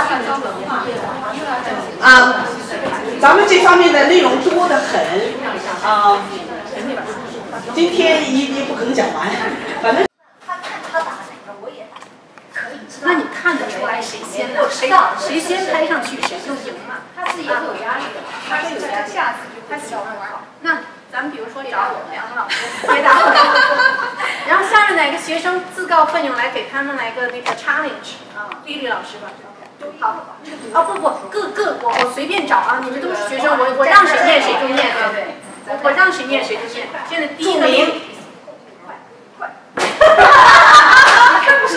这然后其他的学生对呀，我就是说这他们的还有其他的学生要给他们那个评分，用两只手，左只左手是给朱老师评分，右手是给那个冯老师评分。谁答对了，你们认为是谁第一答上去的就一，就那个刚才谁呀？那个清界。这就是你跟了。下面那个请那个丽华老师 来念，给他。太不实。看谁得分多了，现在啊，看，哎呦，现在那个那个那个同学念设计。好，下面请这个这个学生念。著名念头，你刚才没注意听，咱们打这个可以的。然后下面，如果说考试是不是压力很大？对对，然后下面那个潘梅老师，潘梅学生，几何他有个很好很大的好处，慢，它是慢点。这个 game 呢，这是人是不要的哈，每一次都是只要告诉他，这个时间是 study time，然后他自己会用。坏老师。所以你们觉得这个 game 已经 involve 了多少学生？全部学生，因为两个学生在上面是他们要争分数，对吧？后面的其他学生要打分儿，对不对？而且呢，我还跳着跳着找人来给他们 challenge，那你要认识这些字，你不知道我什么时候叫到你？孩子也喜欢玩这个 game，然后同时大家都要注意，因为你要打分嘛。所以，然后呢，你再换着人上面来玩这个，就是整个全班都 get involved，而且呢，孩子就会注意力很集中。今天那个刚才他这也证明了我们上午学的那个三角形儿，你记得吗？如果单纯的认字的话，是第一档最低的啊，是什么？memorize，remember。结果还加了这个老师呃同学之间的互相的什么？还加了什么？evaluate，还有 analyze，对不对？除了 creative，其他都有了，所以一下就上了百分之九十了。咱们这个教育成就是对，然后孩子还会站起来走一走，因为他老坐在那里，知道。所以我们就是因为刚刚的话，多嘛，要不要把念过的给拿掉？是吗？绝对不可能念过的拿掉。就是他们已经拍过的，你就老师把它拿下来，那这样会时间上没有必要，没没有必要。够的。你拿掉的那个时间，我觉得时间每个人三年级的字基本上对这个我知道，三年级。一二年就要拿掉，这样子他们就不会说你这个时间占的分数太多。嗯，分两节课，你试试周双周，你真正用你试试，我觉得还可以，因为我教过三年级，你可以少，不用每个孩子都上来，你试试。还还有一个这个非常好的活动。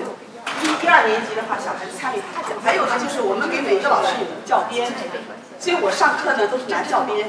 这时候我就给学生，学生长大，愿意拿老师的教鞭。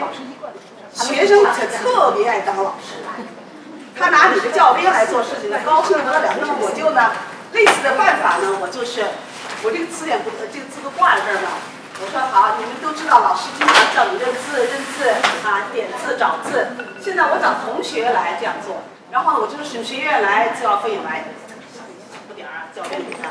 好，指出来哪个字在哪儿，啪指上去，对吗？然后呢，他在找的时候，底下是按捺不住啊，啊，等他认完了，这么两三个字，谁还愿意啊？你赶紧排队来，我不愿意在在等，花时间等着。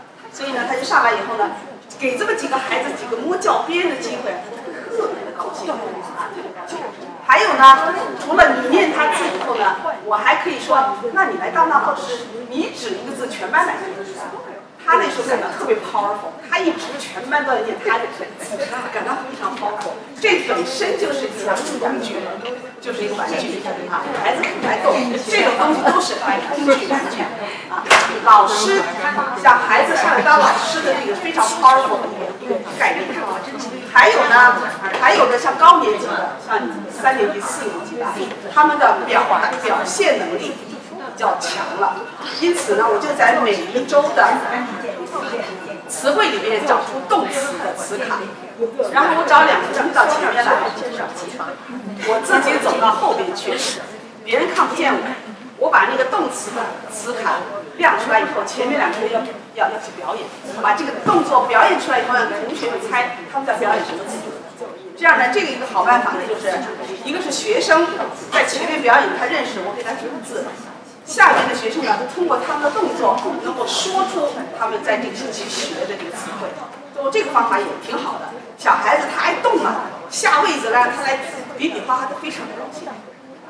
还有一个呢，就是我在教大概一年级里有有一篇课文里教做立走，我这没法给你们那个做演示，但是我跟学生演示的特别有意思。没关系，您演示一下，我们刚好。OK OK，就在一年级的“做你走”这几个字，它是一个补充词，不是课文里的，但是是济南中文里的，不是南就是啊，对，咱们我没教过济南的啊。他就这样的，然后我看他有点累了哈，有点坐不住，特别是第二节课发困的时候，我说好，下面呢我们看看你。同学们对这几个字认识不认识？能够表表现出来啊？Act out，我就我经常来让学生 act out。我说好，下面啊，听老师说，老师说一个字，马上你要做啊。第一个字做，那个学生本来就坐那儿了嘛，他砰跳起来，再蹲下屁墩儿，行，挺好，都知道是坐。下面立，砰，全班都坐站起来了，稀里哗啦的，立了不动了。下边老师说了。坐，不就坐下了。我再说立，就站起来了。然后说走，他这个孩子东朝哪方向都有。走走走走，我就说走走走走走，他就走走走。我说好，行了，没关系。他就哈哈大笑。然后我说好，坐。坐地上。那个聪明的孩子坐原地一坐，那个有点反应慢的孩子。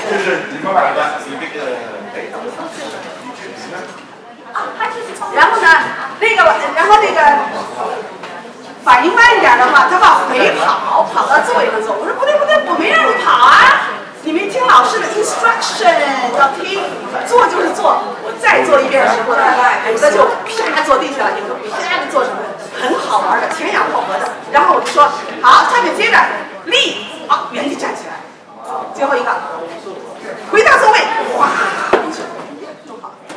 就让他们活动一下，小孩子下座位的事，站起来这个手舞足蹈的事，对他大脑刺激非常好。经常就在看那个老人的那个老人的画，很有意思，这是一个办法啊。另外呢，就是在教。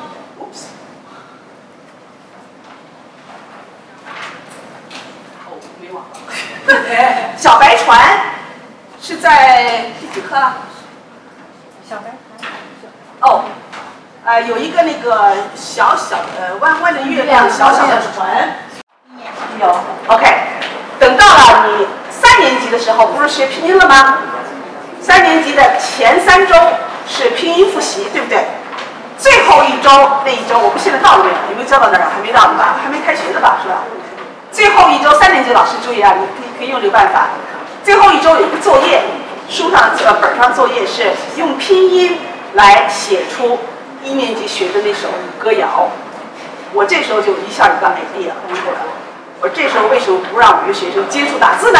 我说回去以后用拼音帮让你的爸爸妈妈把你的电脑教会怎么打字，用打字打出来，然后印出来贴到本上。这个效果我是当时意想不到的，就是说这是一个非常好的一个提提升的一个手策略。孩子们回家以后，第一次有生以来第一次去打中文字，第一次看到自己手打出来的拼音一个一个的字蹦到那个电脑上，特别的兴奋。那些家长做完了以后就给我发 email 说：“张老师，你棒了，太好了！”我孩子说：“我能打中文了。”这是他第一次，就把他插进去。虽然才三年级哈，还小，但是家长的帮助下，给他这么一个机会，让他跳一下。虽然我们五年级才开始介入打拼音打拼音打字在教材上，但是我那一年开始用的时候效果特别好。从此以后，我我的孩子那学生最后打字一个个溜的不得了，他从三年级开始了，而且对他这个中文学习这个兴趣和他这个动机啊激情突然提升一大块。这是一个机契机，老师可以想抓住啊，打字。还有我们在一年级在学这个调课时候，我就带学生们唱那个唱那个小白船，老师会唱吗？一个一个韩国歌，一个朝鲜歌，啊，蓝蓝的。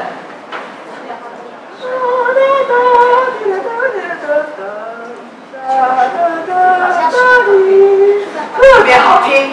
然后呢，我那天在给教孩子们教这首歌的时候呢，因为他那首歌词就跟那个书里面那个英语啊非常的相近，几乎就没有生词，所以你教唱歌的时候，把这个这个这个教完了以后呢，再去教这首歌呢。当时我有几个家长来来在我班里做值班。家长跟着我一起，男家长、女家一起在那唱，哎呦，大家一个人好浪漫的，当时那种歌特别好听。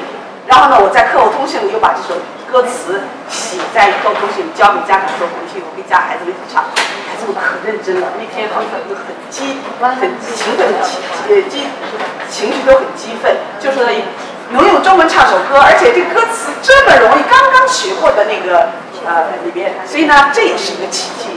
提高学生学中文兴趣，对吧？啊，那么三年级刚才我说打字了，二年级的捞月亮那有没有教二年级老师？没有二年级有，有哈。OK，二年级呢，第一课是捞月亮，知道我怎么教的吗？我把自己出丑就出丑，我当那次演员，啊啊，因为二年级第一天开学那天。很乱，当时我是两个班合在一起，因为另外一个老师什么事来来不了了，又热又燥，然后合在一起，我说这个学生没法上课，那我干脆这样吧，我说让学生们乐乐一场，我就说我今天表演一个啊，给大家看。我一上来以后呢，这不是捞月亮一故事，我也是事先备好了，然后我就拿一个圆圆圆凳儿放在中间，大家看着啊，这是一口井，什么叫井啊？井就是形容歪。OK，啊，我说从前，我说一天晚上，有一个小猴子来到井边玩，就我又不会表演，我不管他吧，孩子们哈哈在那笑，不理他。然后呢，他就也就是绕着井边走圈以后呢，他往井下一看，啊。井里了，经历了孩子们哈哈哈笑，这底下的孩子笑。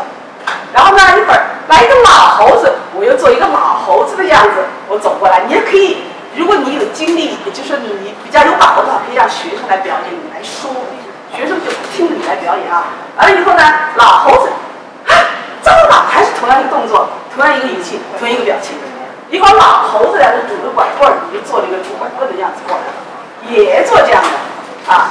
这时候呢，说旁边一棵大树，老猴子就抓住了一棵大树，底下下这只手抓的是大猴子，大猴子抓着老猴子，底下抓着小猴子啊，小猴子呢就到底下去捞呀，要把这个捞字做的非常的夸张，他就知道这个捞字到底是什么动作，不是拿，不是摘，不是扛，不是背，不是推，不是拉，是一个捞的动作。就这么一个动作，他全学会了捞什么意思了。OK，这去捞月亮。哎，一碰月亮，怎么没有了？是吧？然后呢，这时候你要做的夸张才行。这老猴子不是抓一个树的吗？这顶不是手都抓着的吗？然后呢，就说这个老猴子，他就往上一看，哎，你要做出什么呀？这手抓的很紧，要给他一个悬念。啊，月亮在这儿呢！你手这么一松，我那些孩子全看出来了。哗，他说那猴子掉到井里去了。就是老头子一松手，他一他一去找一个月亮了，就把那些孩子掉到井里去了。当时我做完了以后，全班笑得前仰后合的。我就考虑到这个效果，所以我故意把它做的很夸张，你看很夸张。所以你当老师的，我的一个教学理念就是：老师是演员，是导演。你在课堂上做的任何动作，你做的任何事要吸引孩子，那他随时看着你，跟着你跑，对吧？所以你是个演员。同时呢，你又把他的对他是管理、对周边家长的沟通和学校的沟通，你又是个导演，几方你要把它联系起来，你最后才能达到一个教学效果。啊，这些我说所以，我上课的话呢，我就特别注重每一个人的表情。他如果学生就这样，我糟了。有问题了，我得赶紧想办法换一个手段，或者换一个怎么样，或者让这学生做点什么事儿啊之类的啊。然后呢，就是一个课堂组织啊，这些老师其实都知道一些理论上的东西啊，就是在一个复习字词板书。刚才我说了，板书教写字的时候，就是刚才我给你们一个办法，第一遍，比如说今天要学写口字，好，大家把手拿出来在空中给我写啊，笔画竖。一起说。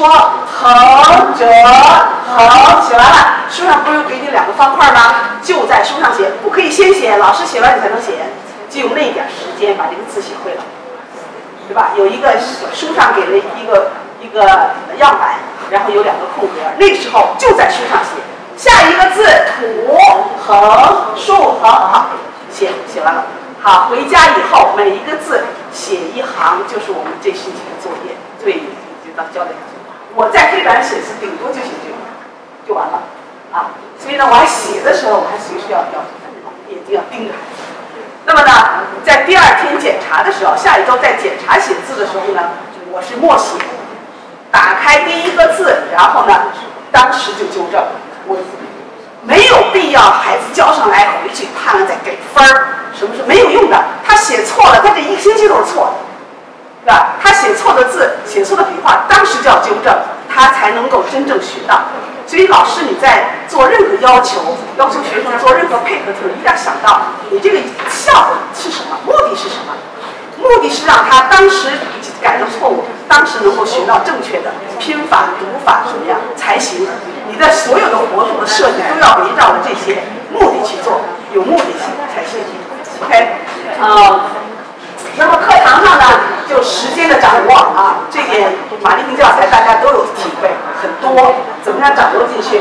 那么学说话语气啊，眼睛交流啊，英语的能力有的时候说一个英语啊，暗示啊，我跟你说了，那种需要学生注意批评他的东西，都是用暗示的方法，而是不用明着去用语言去去在班里头把他给给他挑出来，这样都不好啊。而且呢，对于好学生。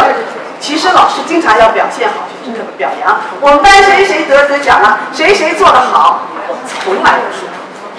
我从来不在班里表扬一个特殊的好学生，或者是批评怎么样，没有用的。你你你表扬这个或者批评对其他人都是没不好的影响。不说这些事情，所以学生在班里头没有这种感觉，说老师突然表扬他们，我就觉得好像二等公民一样的那种感觉没有的。啊，这是一个西方的一个比较公正的，让大家都感到同等的待遇的这种一种教学理念，我们要融到我们的中文这个这个环境里面去。哎，啊，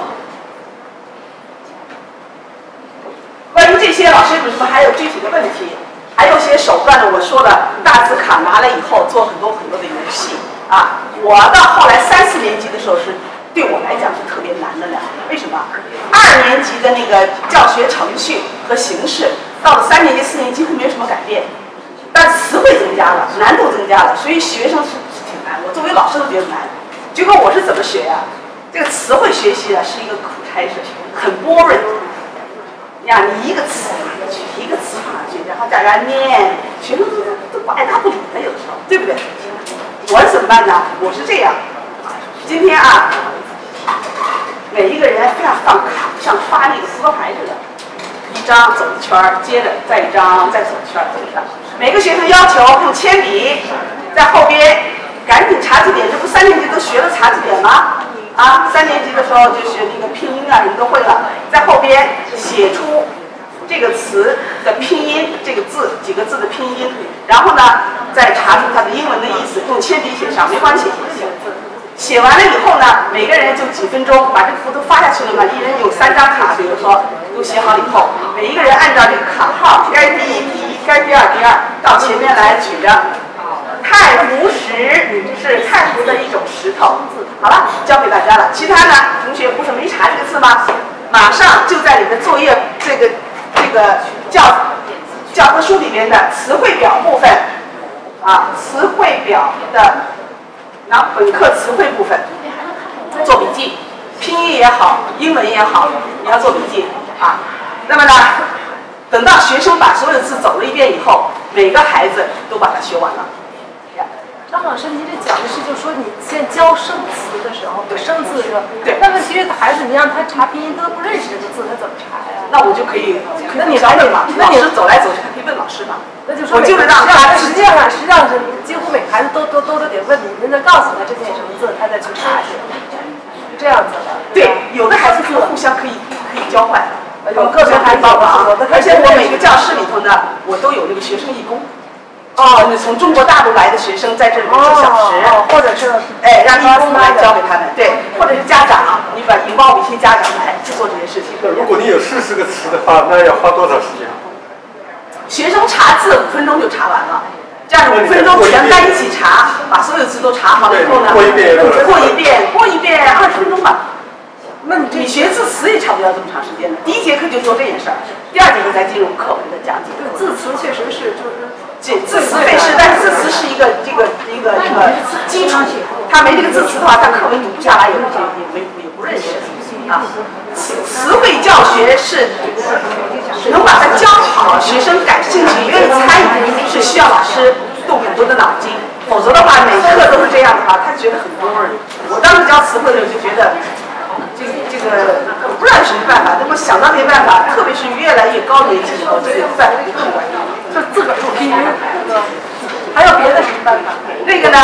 还有一个我刚才提到的就是教科书。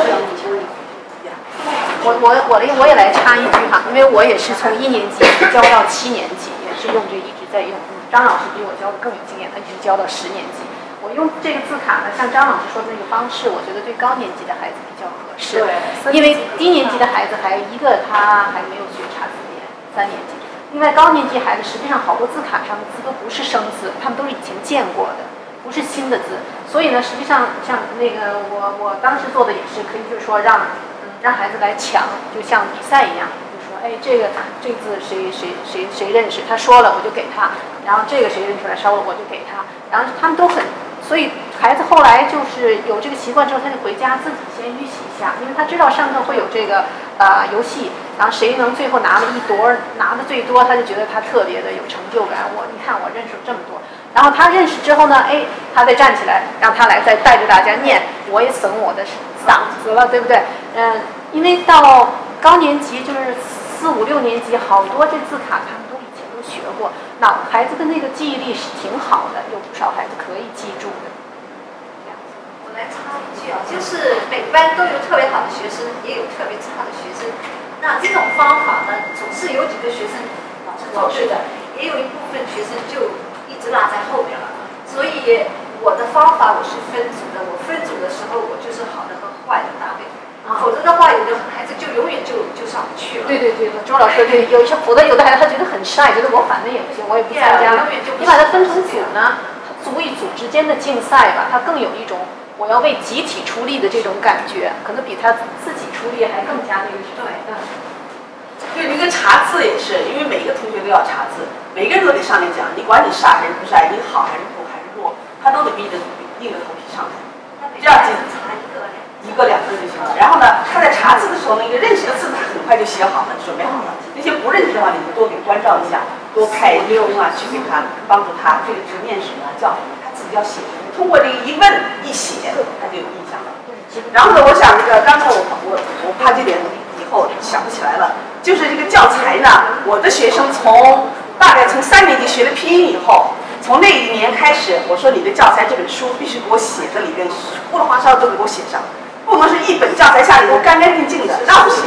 OK，那么呢，就是在词汇词汇表里，字里行间你可以标拼音，可以标英文，就是你为了你的学习，这个这个这课文里头一个拼音都不行我标，除了他自己课文里有的。啊，你在念课文的时候，不会的，赶紧到这儿查，查完接着念，就是让他有逼着他有这个机会，一个字一个字的指字认字啊，不会的字是新字，到里面查一下，他就会读了，读下来以后接着，所以这是我的一贯的要求。我的学生呢，他就最后，他的他在这个讲课在念字的时候呢，我就在行里边走来走去，看看他们到底是写了没有。啊，凡是我一叫起来，我说这个念什么来着？当时我们走走过的，你记了没有？是那个同学他介绍给大家，他当时教给大家，你记了没有？有的孩子他就心不在焉的没记，我一过去一看，你看看，干干净净的，说明你没记笔记。记笔记，记笔记，记笔记。从三年级开始，一定要养成学生记笔记，这对他一生都有很大的好处。所以从现在开始，老师给他培养一个习惯，记笔记，记笔记，拼音也好，英文也好。哎，那么呢，他以后就养成一个非常非常好的习惯，就这样。但是不能在课文里。呃，你们在讲下一个问题时，我问一下，您刚才说说那个这个字词不是每天上来都要复习嘛，都要考一下试。然后您刚才说那个方法，说让他们就在不是说你拿老师拿回家，像我们都是考完了以后可以收回来，收回来回来家判，然后再发下去啊。您说是当场让他们就是又又记，是怎么个做法啊？就是您是怎么就是比如说我要当场这样写，我可以这样，我今天听写，啊，听写六个字，对，我就听写六个，我不可能听写所有的啊。谁会写啊？哦，自告奋勇的从你来写，其他同学自己写不看，不看不看不看啊，咱们自觉啊，写不出来的再看。OK。那不是他写好就等于他把那个答案就打交代了，对对，对吧？然后呢，你在看的时候呢，说好，这六个同学每人都写对了，咱们看一看这个同学写对了没有？你对了吗？打一个勾。你对了没有？打一个勾。全对的，给你自己打一个一百分，自己写，完了，过去了。过去我觉得老师收回来，还给你分儿，还给记录，没那个必要，没那个必要。当时写出东西一定要当时纠正，才能够。至少六年级每每堂课后面都有。都有练习的，不是五六个字，而是三十几个字。你挑的，你你就跟他说，你回去都得练。但是呢，我是挑的不挑的里面的来默写。六六年级要去听写的是常用字听写，不是常用字，每一个星期都有，一个是三十，一个星期是三个是常用字。不是不是，这这个得讲清楚。这个这个练习每个星期都有。窦老师。六年级他的这个课本里的字是好多是认字，然后呢需要要要写的是默写，默写是课程段落。那个真正要听写的字呢，实际上是那个常用字听写。像那个他列出来新的字是要求只要求学生认的，只要求学生认。啊，这是很好的问题啊！到底哪些字是需要写的？这个马丽红老师的教材呢，其实非常明确。所有课文里边的字，包括词汇表里的字，都要认，要认识，指着能够认出来，知道什么意思？哪些字需要写呢？就学生要会写，要会默，是在作业本里头写字。所以每一课只有这么几个字需要写，也就八个，最多八个。一开始的是一年级、二年级的一一周就四个字需要默写的，老师不能考学生只认的字，这给学生无形加重呃无形中加重加大了很大的分量，不可能的。我有一个老师是来教课的时候，他就说那个那个呃教这个什么左手右手那一课，这么多字，他就开始给学生一个字一个字写啊，这么写跟着我写，时间都花在写上去了。本来马林的教材就是要避免先写，最后才是写。一定要认读、认读、认读。写是一开始很少很少，最后到了写作的时候再开始通过写。所以老师一定要注意，作业本里的字是要求写的，练习的字，其他的都不是写的，只认读就可以了。呀，我想再强调一下，就是凡是要听写的，他作业里一定是要求你回家写了。如果他的作业本上没有要求学生回家写的东西，就不是要求你要听写的，只是要求认的。而且他他那个六年级也有要求你那个写段落的。然后他在那个就在他所有的听写的那个都有都都有空格的，每每周都有空格。他空格那个是听写段落，呃呃默写段落的，是也是作业里曾经写过的段落。然后要听写的常用词呢，他也也已经都格格子都画好了，也是在当那周他学生练习过写的。只要他的作业本上没有要求写的，不是要求你学生要要会。会听写或者默写的，而是要求认的。所以他这是就像他说，我们这里的学生是穷学生，什么穷？就是说时间有限，语言环境有限，所以他要把好钢用在刀刃上。就是说他，但根据他这样的教学方法教下来呢，没有问题。他的学生每年有一百多个学生去考 AP，都考得很好。所以这是一套非常，他是经过反复实验，嗯，总结出来的这种就是。考的考的很好，是都四分以上的，还是全都是五分？基本上都是五分。他的我我有问题哈，那个马丽萍的教材，每个单元后面每一课都有那个生字表，对不对？有十几个带拼音。然后呢，他的那个在作业单当的作业本当中，每个听写都有一部分说下周要听写的字词，那个是哎总是在 I 不管几年级都在 item 四里边。所以呢，就说我们要是给孩子们上来考试，是考生字表的这些字，还是考那个里？我觉得那个 item 四是最简单的，但生字表那个后面每个单元后面那个那几个是最难的。那我就说这些重点掌握是老师在讲课中是讲这个生字表的，还是讲这个里边的？生字表里的字是他今这周必须要认读的字，嗯，里边其中包括要写的字。对，要写听写的字就是他必须会掌握的字，但是那个是相当的难，就是那个生字，那那个每每个单元后面的生字表里的。生字表里的只是要认的，不是要写的。只有在他的作业本里面有空格画出来要你写的，那才是要求学生会会写的，手会写的，然后你能够听写，嗯。每周回去要听写考的，但是跟他四年级、四年级就没有这个了，没有这个生字表了，没有这个生字。四年级是听写的是那个是那个一段课文的段落。对，课文段落就是打，那它有三段，就是打新字号的那是要默写的。对对对，就是这样。听写的。对对对，就是这样。那个认读的字不要给他们去那个再去呃听写，因为这样他时间不够，学生就不知道该做什么，就觉得做不完就不做了。我一定要就是说。那我想问一下，实际上就是让他要先认那些东西都要先认，然后实际上就是记的那些东西并不是很多，是吧？就是要认其中的几个字，几个字，他都规定好了的，规定好的，不用老师去想说就根据他这个走就行了，对，根据他那个走。对，作业里出现需要学生一一下写好几行的那样的，那是要求写的字，其他的当当中学的字都只只认就可以了。四年级就没有那个了。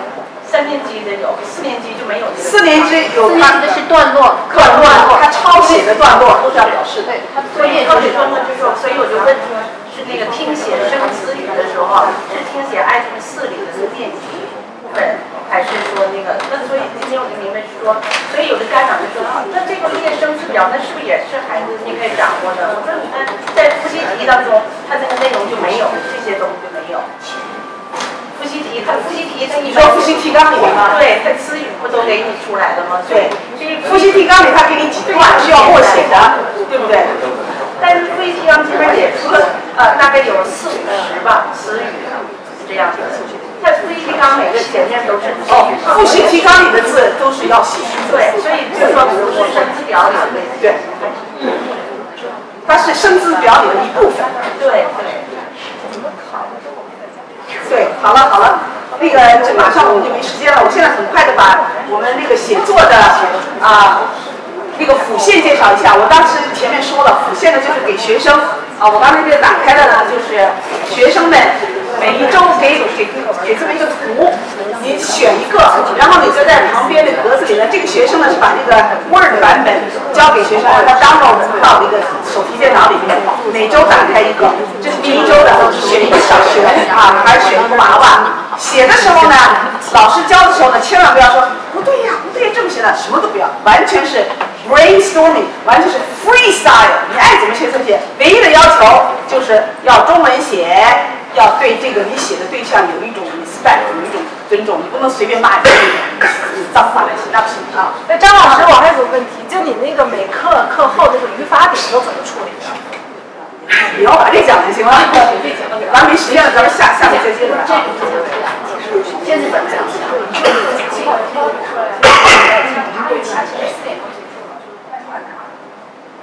现在已经四点二十了，咱们讲。OK，就是就是这个就是每一周啊，每一周有给两个图，你挑一个，然后来描写颜色、形状，就是给孩子一个让他自己去写。老师给他一个一个基本的一个引导，就是你看到的、脑子里想到的，马上放在笔上啊，放放在电脑上，怎么写都行。什么颜色？然后你开始想象，我会弹钢琴，我妈妈弹钢琴，或者是我的我这个他子弹钢琴，什么什么参加钢琴比赛，什么都行啊，就自由写作。一共啊，每一周每一周都有这个这个东西去写。哎，那么呢，我们写作的这个，如果大家呢，我给看一下啊，这是我上次呃前前几天到九州大会去。OK，也是给学生呢，我就用云支付的这个 Google Document。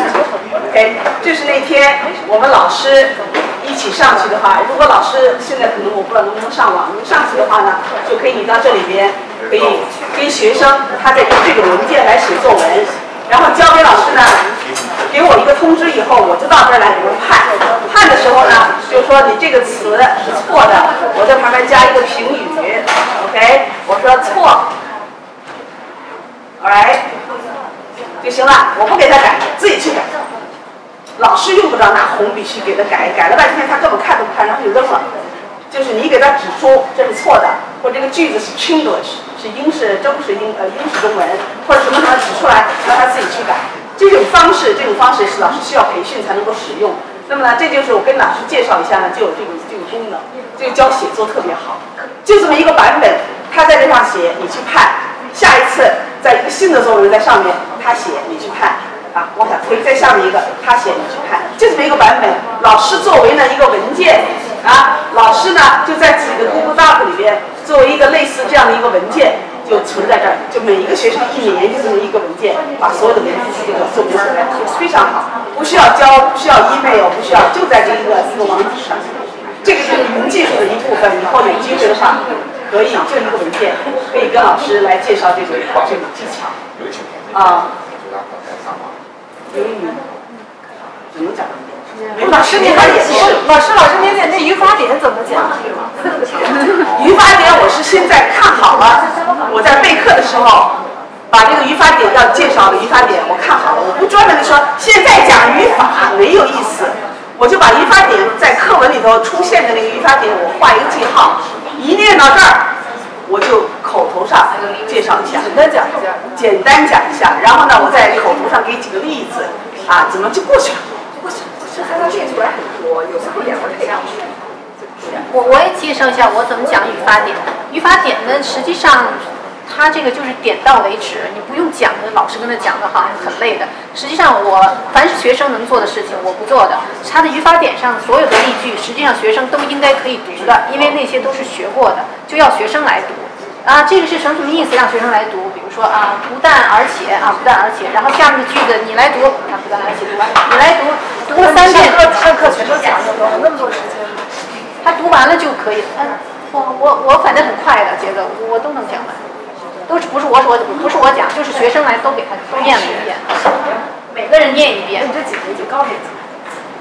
我从一年级一直教到四